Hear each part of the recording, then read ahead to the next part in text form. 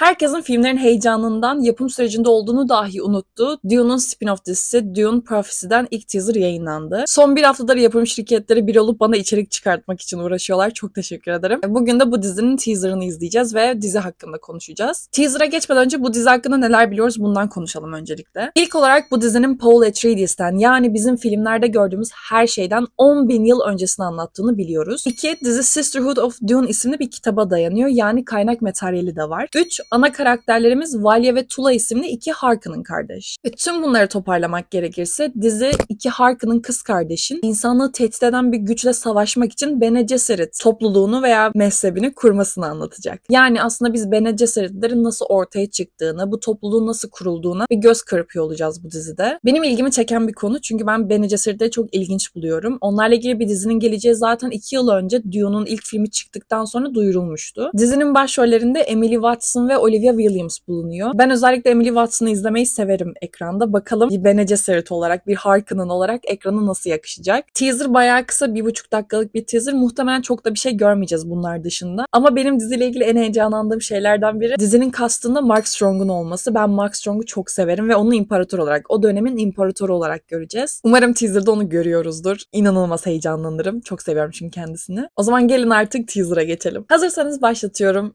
3, 2, 1 ve let's go. 10,000 years before the birth of Paul Ya, bayağı hikaye anlatacak şu an. before the universe would know us as the Bene Gesserit, Tamamıyla bir tanıtım teaser olmuş. Güzel.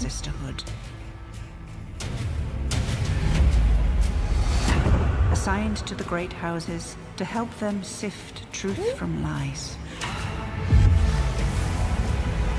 We created a network of influence throughout the Imperium. But power comes with a price. Güzel. Hadi bakalım. Mark Strong çok iyi duruyor. Nothing is more important, Kızın kostümü çok iyi. and this is the marriage that makes it possible. Prodüksiyon bayağı iyi duruyor şu anlık.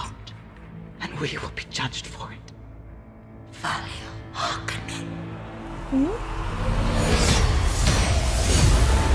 Güzel.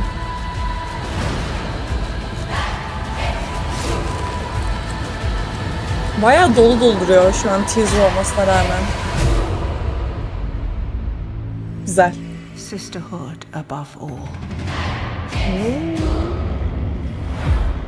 Güzel.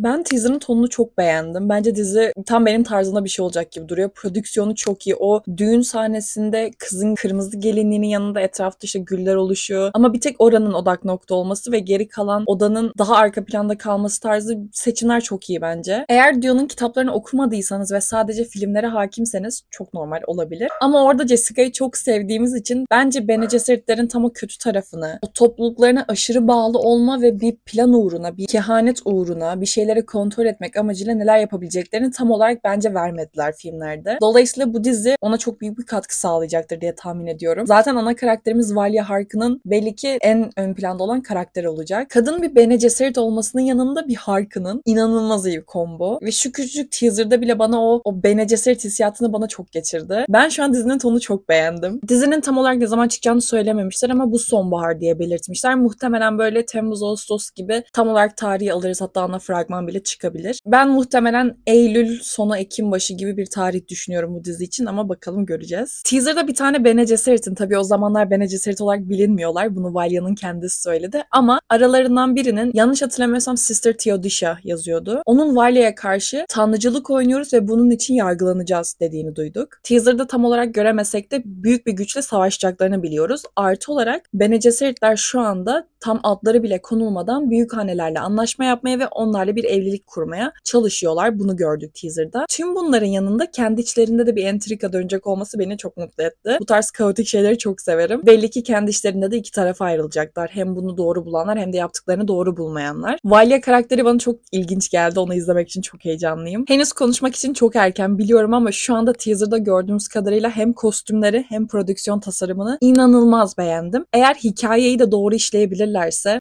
Bu dizi bence son dönemde izlediğimiz en iyi uyarlamalardan, en iyi dizilerden biri olacak. Doğrulandı mı bilmiyorum ama dizinin ilk sezonu sanırım 6 bölümden oluşacak. E, platformlardaki bu bölüm sayılarını gitgide düşürmeye başladılar. Açıkçası hikayesini doğru anlattığı, düzgün anlattığı sürece ben bölüm sayılarına çok takılmıyorum. Önemli olan benim için hikayenin doğru işlenmesi, düzgün işlenmesi ve arada soru işareti kalmaması. Bakalım bu teaserda ben bayağı olumlu bakmaya başladım diziye. Daha öncesinde hiçbir umudum yoktu ya da üstüne düşünmemiştim ama şu anda ilgimi bayağı çekti ve dizinin tüm sürecini de takip edeceğim. Sizler teaser'ı nasıl buldunuz? Dune evreninin genişliği olmasından memnun musunuz? Hepsini yorumlarda konuşalım. Ayrıca eğer bana ilk defa denk geliyorsanız kanalda Dune Part 1 ve Part 2 hakkında konuştuğum videolar da var. Hepsini açıklama kısmına bırakıyorum. Merak ediyorsanız onlara da bakabilirsiniz. Videoyu buraya kadar izlediğiniz için çok teşekkür ederim. Bir sonraki videoda görüşmek üzere. Hoşçakalın.